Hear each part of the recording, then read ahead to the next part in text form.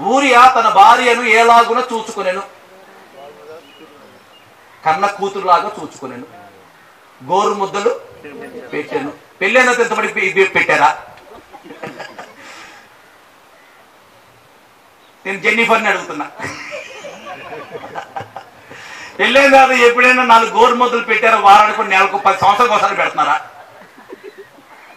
పెట్టిన వాళ్ళు రెండు సంవత్సరం చెప్పండి. అబ్బా పాస్టర్ గారు చెప్పారండి. దేవునికి స్తోత్రం కలుగునుగా. పెట్టకపోతే ఇవాళ ఎందుకు పెట్టకూడదు మనం? ఇవాళ ఇంటికి వెళ్ళిన తర్వాత నాలుగు మొదలు ఎందుకు మనకు తింటా తింటే నాలుగు నోట్లు పెట్టబడతా వాడికి మీకు ఎంత రుచిగా ఉండి పెడతాండి ఇక? తెచ్చిపోద్ది మీకు. మీకు ఇష్టమైన కూర ఉండేస్తుంది ఇక. కానీ ఒక వ్యక్తి చాలా గొర్రెలు కలిగి ఉన్నాడు. నా తన ప్రవక్త చెప్పాడు. హూ ఇస్ ద ఫెలో ఎవరా వ్యక్తి? మరణముకు పాత్రుడే అంటాడు. ఆ వ్యక్తి ఉండివే అన్నాడు నాతాన్ ప్రవక్త దావీద్ కన్నా చాలా చిన్న వయసులో. ఎవరు దావీద్ అప్పటికి చాలా పెద్దవాడు. అసలు. పెద్దోని పెట్టుకుని అందరి ముందు ఇలా అంటావా? ఇది తప్పు ఉంటే చెప్పాలి పక్కకి. లోపలికి తీసుకెళ్ళి నీకు చెప్పాలి. నువ్వు చిన్నోడు నీ వయసు ఎంత? నేను రాజుని చిన్నోడే చెప్పుకున్నా. గౌరవంగా బ్రతుకుతున్నాను. నువ్వు అందరి ముందు నా పాపాన్ని బట్టబడి చేస్తావంటే? జైలు పెట్టినాడు ఆశలాగా? జైలు పెట్టినాడా? అంటే పుట్టేది పాదంలో జబ్బు.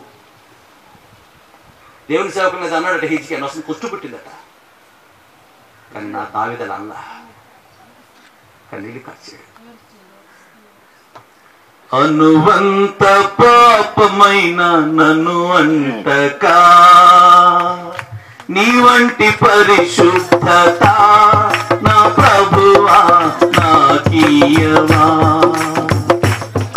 నా పాపమైన నన్ను అంతగా నీ వంటి పరిశుద్ధత నా ప్రభువా నాకీయవా నాకీయవా నాకీయవా నాకీయవా నాకీయ తోవ తప్పిపోతినే మార్గమెరుగగా పడిన స్థితి నుండి లేవలేకుంటిని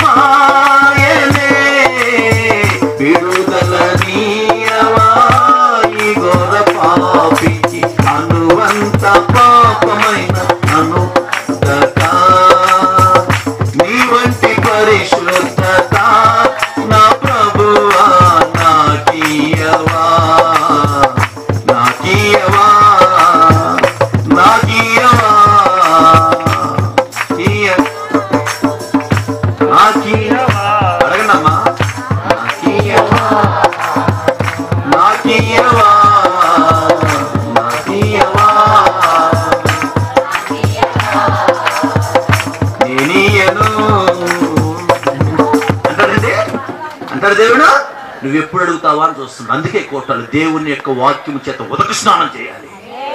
ఆ తాను ప్రవక్తని దేవుని సేవకుడు వచ్చి నీ లోపాలు విని బలహీనతలు విని అవిధేతలు విని చెప్పినప్పుడు తావిదు సరి చేసుకున్నాడు అహరోనులాగా నిజమేనయ్యా నేను పాపం చేశాను తొందరపడి మాట్లాడాను కాని మాటలు మాట్లాడాను ఇతర సాక్ష్యాలు పాడు చేశాను. నాకన్నా చిన్నవారు నాకన్నా పెద్దవారు అవుతుంది అతి అతి- అసూయపడ్డానయ్యా. వాళ్ళ గురించి అవాకులు చవాకులు పేలేనయ్యా. నా ఆశీర్వాదం ఆగిపోయిన కారణం అదే. నా ప్రార్థన వినపడిన కారణం అదే. నా తోపం నా తప్పిదం అర్థమైందయ్యా. నీ వాక్యపు వెలుగుల్లో సరిచేసుకుంటానయ్యా సరిదిద్దుకుంటానయ్యా. ఆ పాపి నా దుర్మార్గురాలు నుంచి నేనేనయ్యా అని ఒప్పుకొని అంగీకరించగలిగితే నీ మీదకు దిగివచ్చే ఆశీర్వాదాల పరంపర ఆగిపోయినవన్నీ దేవునికి ఇచ్చేస్తాడు.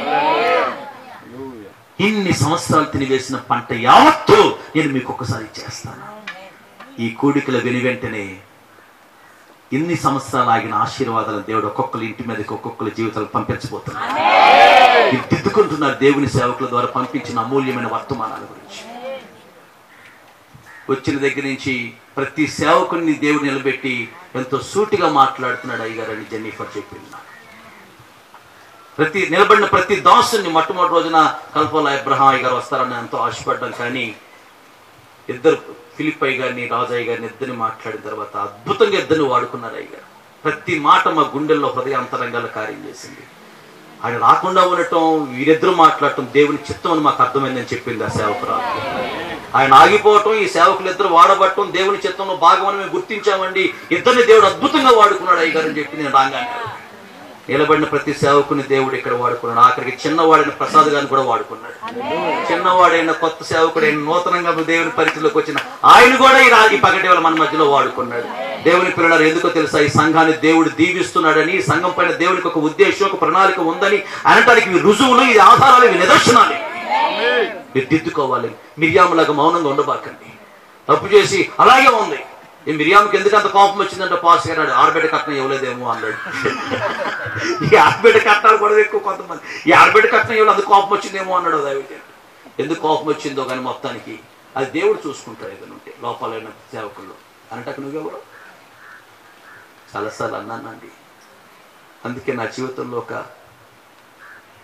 ఆశీర్వాదాన్ని ఒక విజయాన్ని నేను ఆశించిన వాటిని చూడలేకపోతే కారణం అదే నాకు గుర్తిస్తున్నానండి అని మిరియాములాగా నీ హృదయాన్ని కఠినపరచుకోకుండా అయ్యో మేము పాపులం ప్రభు అవివేకులం ప్రభు తొందరపడి మాట్లాడిన అయ్యాని దేవుని పాదాల దగ్గర దేవుడి గద్దెంపుకు లోబడి దేవుని మాటకు విధేత చూపించి సాగిలు పడ్డాడు కాబట్టి అహరోను మీదకి దేవుని కోపము రాలా ఉగ్రత రాలా కుష్టు దిగిరాలా కృప దిగొచ్చింది ఆశీర్వాదం దిగొచ్చింది దీవెన దిగొచ్చింది. అహరోను వంశం పైకి నెక్స్ట్ జనరేషన్కి ఆశీర్వాదాన్ని పంచిపెట్టే భాగ్యము ధన్యత అహరోను పొందగలిగాడు. దేవునికి స్తోత్రం. నీవు నీ పిల్లలకి నీ తరతరాలకు నీ వంశాలకు నెక్స్ట్ జనరేషన్కి నీ ఒక ఆశీర్వాదకర వ్యక్తిగా ఉండాలి అంటే లోపాలు దిద్దుకుని అహరోన్లాగా సరిచేయబడాలి అహరోను వంశంగా మార్చబడాలి. యహోవా మనల్ని మర్చిపోయిన వాడు కాదు.